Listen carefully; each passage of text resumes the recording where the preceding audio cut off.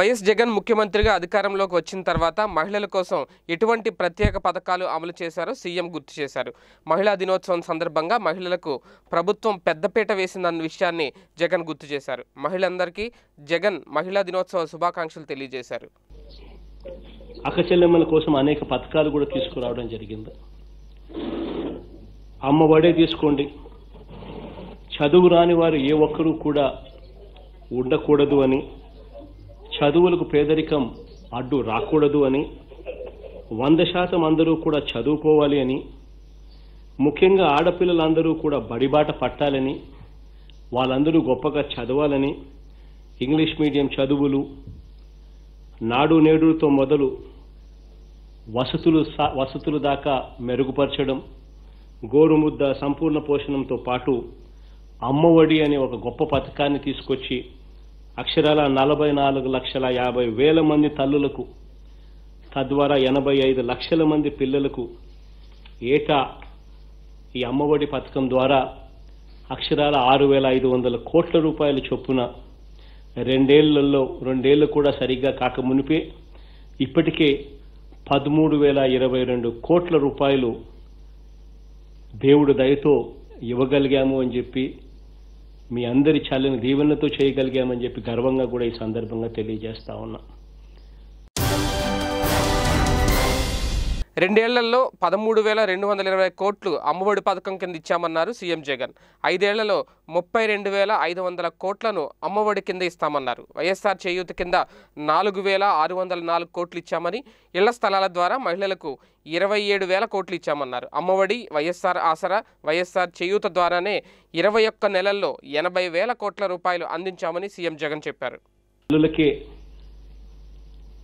కేవలం ఈ ఒక్క పథకం ద్వారానే అక్షరాల ముప్పై రెండు వేల ఐదు వందల కోట్ల రూపాయలు ఆ అక్క చెల్లెమ్మలకు నేరుగా చేతిలోనే పెట్టడం జరుగుతుంది. ఇంతకన్నా గొప్ప అదృష్టం ఏది ఉంటుంది అని చెప్పి సందర్భంగా తెలియజేస్తా ఉన్నాను. వైఎస్ఆర్ ఆసరా అని చెప్పి ఇంకొక పథకాన్ని కూడా అక్క చెల్లెమ్మల కోసమే తీసుకురావడం జరిగింది. అక్షరాల ఎనభై ఏడు లక్షల డెబ్బై ఐదు వేల మంది అక్క చెల్లెమ్మలకు ఎనిమిది లక్షల డెబ్బై ఒక్క వేల గ్రూపులకు ఇప్పటికే కలిగిన లబ్ధి ఆరు వేల ఏడు వందల తొంభై రెండు కోట్ల రూపాయలు. నాలుగేళ్ళలో ఈ అక్క చెల్లెమ్మలకు కలగబోయే లబ్ధి అక్షరాల ఈ ఒక్క పథకం ద్వారానే ఇరవై ఏడు వేల నూట అరవై మూడు కోట్ల రూపాయలు. ఈ ఒక్క పథకం ద్వారానే ఐదు సంవత్సరాలలో అక్క చెల్లెమ్మలకు జరగబోయే మేలు. వైఎస్ఆర్ చేయూత అని ఇంకొక పథకం కూడా తీసుకురావడం జరిగింది. అక్షరాల ఇరవై నాలుగు లక్షల యాభై ఆరు వేల మంది అక్క చెల్లెమ్మలు. నలభై ఐదు సంవత్సరాల నుంచి అరవై సంవత్సరాల వయసులో ఉన్న ఎస్సీ ఎస్టీ బీసీ మైనారిటీ అక్క చెల్లెమ్మలకు. అంటే నిజంగా ఆర్థిక స్వాలంబన అన్నది అక్కడి నుంచే మొదలు కావాలి. నలభై ఐదు నుంచి అరవై సంవత్సరాల వయసు అంటే మోస్ట్ రెస్పాన్సిబుల్ వయసు అని చెప్పి భావించి అటువంటి అక్కలకు మంచి జరిగించాలి అనే ఉద్దేశంతో ఈ ఎస్సీ ఎస్టీ బీసీ మైనారిటీ అక్క చెల్లెమ్మలకు అక్షరాల ఇరవై నాలుగు లక్షల యాభై ఆరు వేల మంది అక్క చెల్లె అక్కలకు నాలుగు వేల ఆరు వందల నాలుగు కోట్ల రూపాయలు ఇప్పటికే ఇవ్వడం జరిగింది.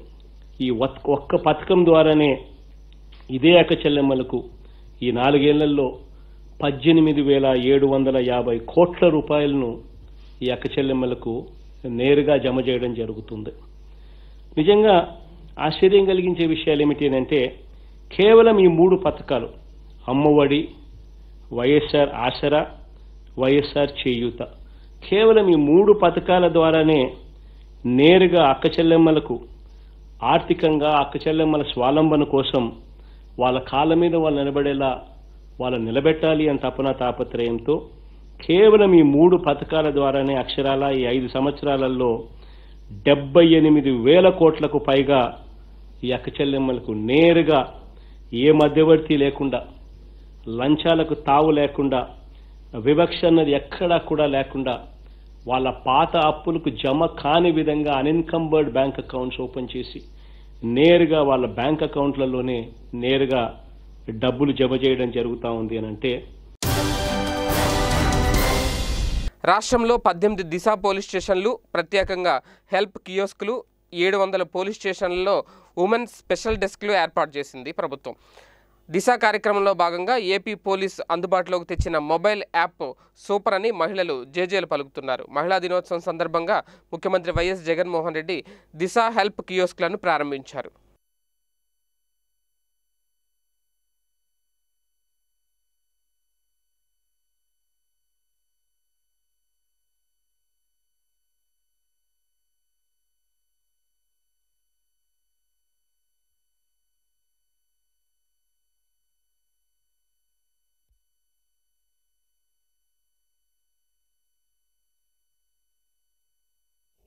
అనేటువంటి వినూత్నమైన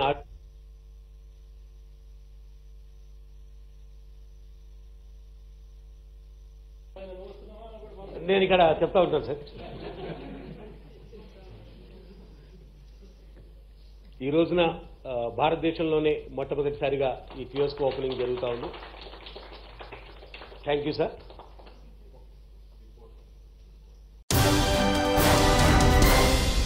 అంతర్జాతీయ మహిళా దినోత్సవాన్ని పురస్కరించుకొని మహిళలకు ఏపీ ప్రభుత్వం పలు వరాలు ప్రకటించింది. రాష్ట్రంలో మహిళల రక్షణకు ఇప్పటికే అధిక ప్రాధాన్యమిస్తున్న వైసీపీ ప్రభుత్వం తాజాగా తొమ్మిది వందల దిశ పెట్రోల్ వెహికల్స్ పద్దెనిమిది దిశ క్రైమ్ సీన్ మేనేజ్మెంట్ వెహికల్స్ను ముఖ్యమంత్రి వైఎస్ జగన్మోహన్ రెడ్డి ప్రారంభించారు. జీపీఎస్ దిశ యాప్ రెస్పాన్స్ సిస్టంతో అనుసంధానం చేసే సైబర్ కియోస్క్లను సీఎం ఆవిష్కరించారు.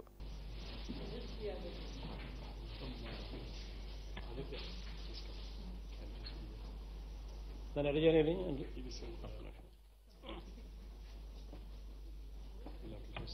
أقرش من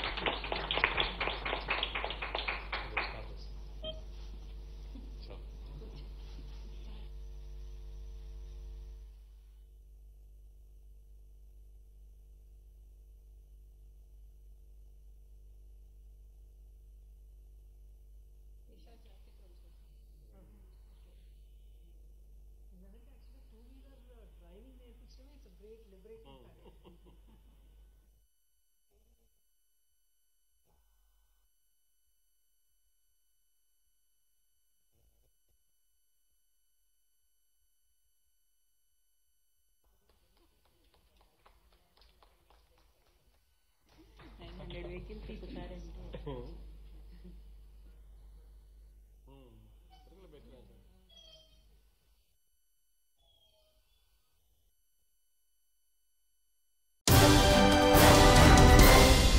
మహిళా దినోత్సవం సందర్భంగా కొందరు మహిళలను సీఎం జగన్ నేరుగా సత్కరించి సన్మానించారు. కోవిడ్ సమయంలో సేవలు అందించిన ఫ్రంట్ లైన్ వారియర్స్లో ఒక్కో కేటగిరీకి చెందిన ఒక్కో మహిళను సీఎం అభినందించారు. హెల్త్ శానిటరీ పోలీస్ విభాగాలతో పాటు వాలంటీర్గా అత్యుత్తమ సేవలు అందించిన మహిళను కూడా సీఎం జగన్ సన్మానించారు.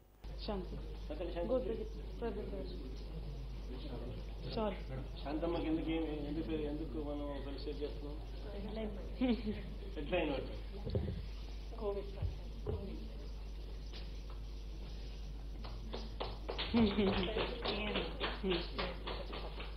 she's an A N M sir here.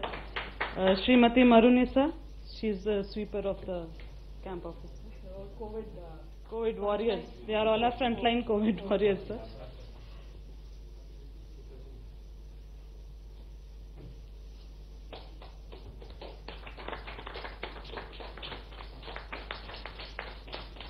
Srimati Saraswati, women constable.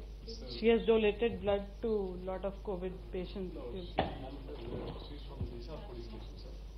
And then uh, pregnant lady while delivery was having complications. So she donated her blood in the early stages of uh, COVID. It was May, June, and people were all afraid. But she came forward. Srimati Kalyani, volunteer. She's a volunteer.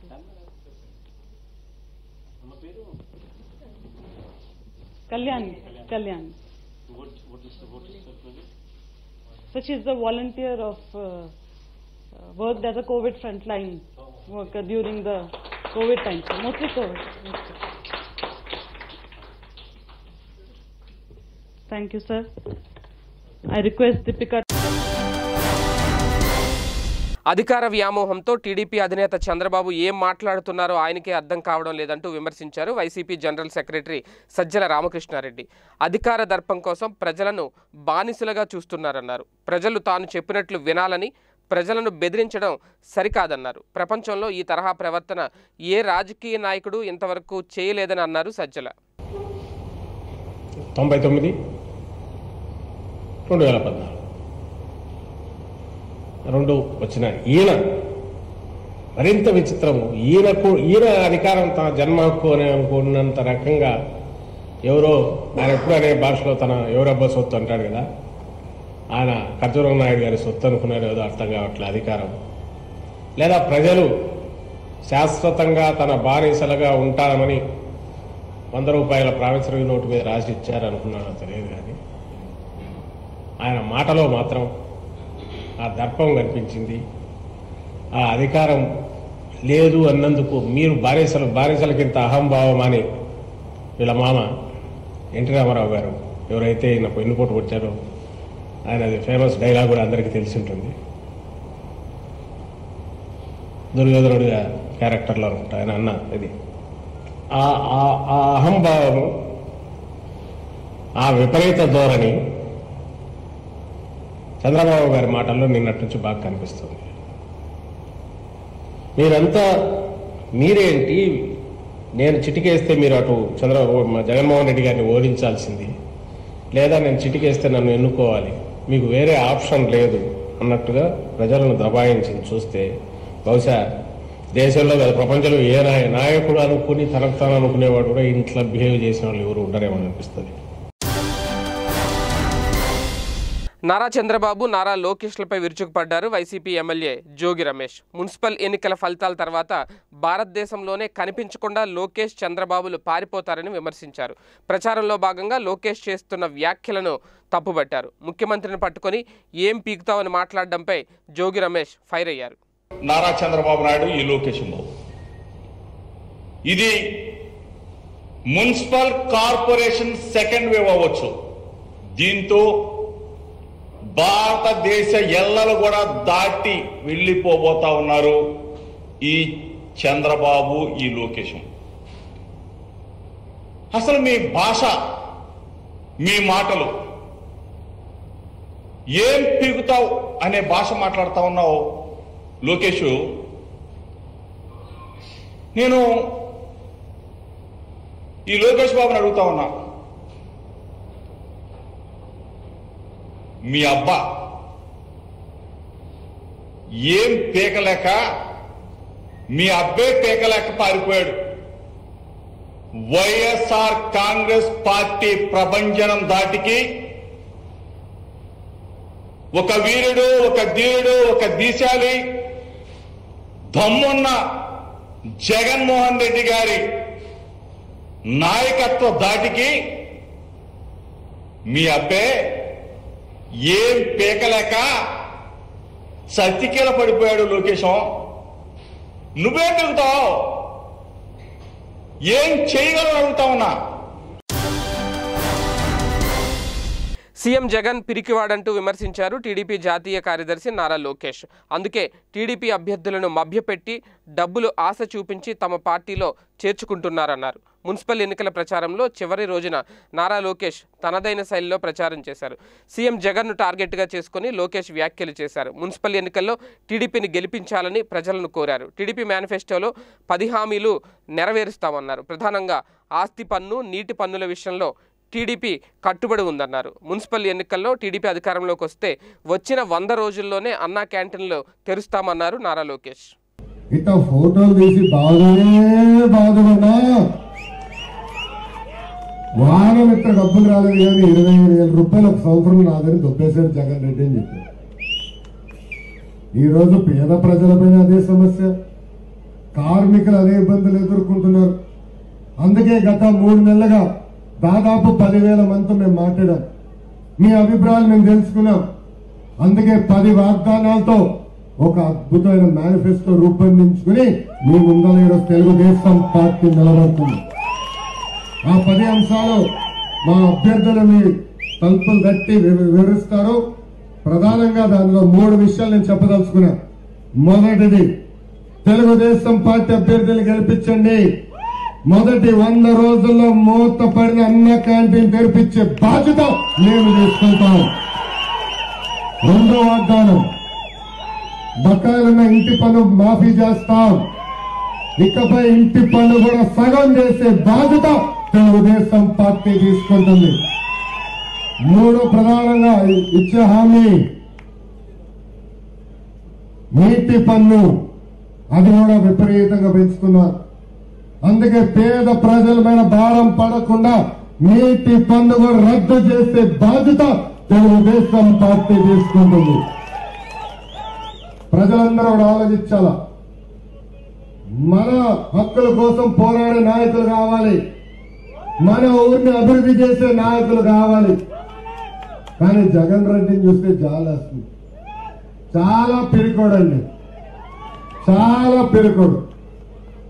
ఎందుకో చెప్పాలా? Telugu Desam party అభ్యర్థులు nomination వేస్తే దగ్గరికి వస్తాం. నేను ఎక్కడో గెలవం. Withdraw చేసుకో. నీకు ఎంత డబ్బులు కావాలో ఇస్తా. ఇల్లు పట్టాలు కావాలో ఇస్తా. లక్షలు కాదు కోట్లు ఇస్తా. నువ్వు విత్డ్రా చేసుకో స్వామి అంటారు. రాష్ట్రంతో చూస్తున్నావు ఈరోజు తెలుగుదేశం పార్టీ అభ్యర్థులు విరోచితంగా మీకోసం పోరాడడానికి బరిలో ఉన్నారు. ఇదే జగన్ రెడ్డికి దమ్ము ధైర్యం ఉండి ఎంతమంది అభ్యర్థుల్లో పర్వాలేదు. మేము పోరాడతామని చెప్పాలా. కానీ చెప్పే పరిస్థితి ఉందా? లేదు. ఎన్నికల ముందు ఏం చెప్పాడు ఇరవై ఐదుకి ఇరవై ఐదు ఎంపీలు గెలిపించండి ఢిల్లీని దడదడలాడిస్తా అన్నాడు దడదడలాడిస్తా అన్నాడు ఇరవై రెండు లోక్సభ ఎంపీలు. ఆరు రాజ్యసభ ఎంపీలు గెలిచారు. అంటే ఇరవై ఎనిమిది మంది ఉన్నారు. దగ్గర దడదడలాడుతున్నారు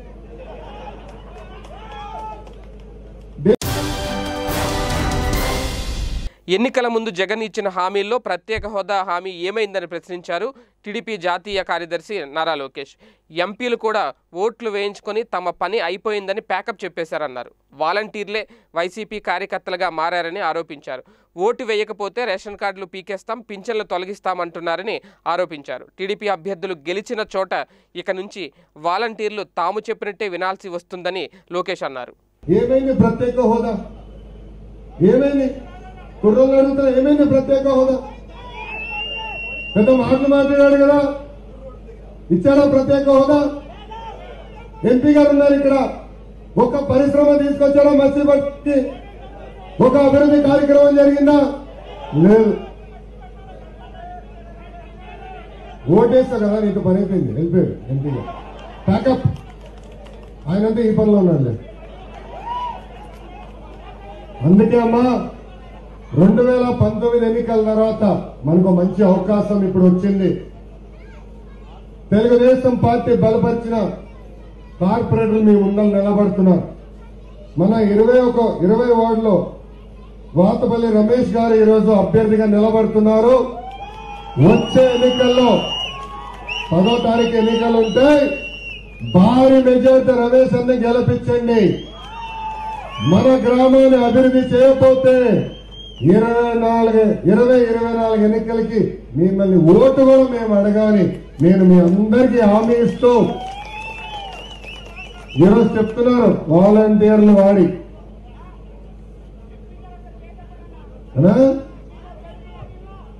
వస్తా చెప్తా.